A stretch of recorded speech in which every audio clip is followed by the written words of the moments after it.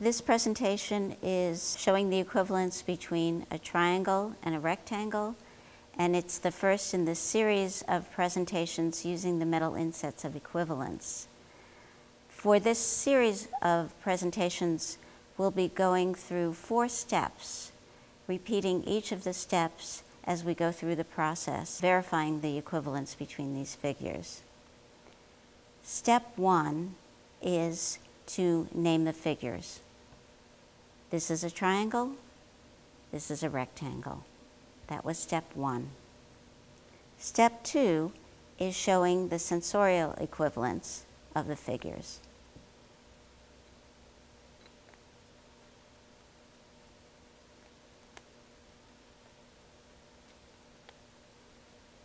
The pieces of the triangle fill the frame of the rectangle.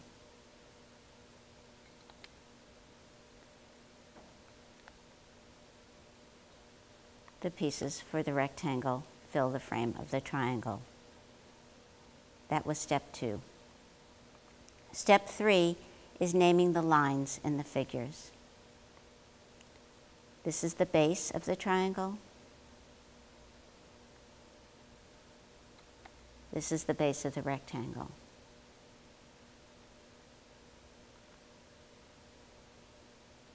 This is the height of the triangle. It's the perpendicular distance from the base to the opposite vertex.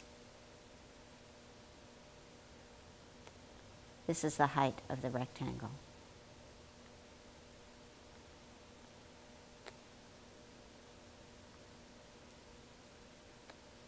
base of the triangle, base of the rectangle.